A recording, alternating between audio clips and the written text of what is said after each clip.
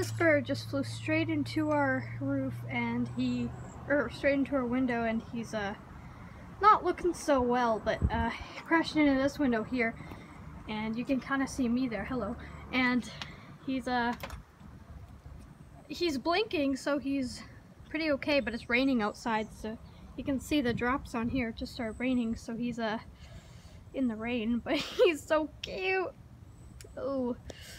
That wouldn't have felt good. There's feathers everywhere.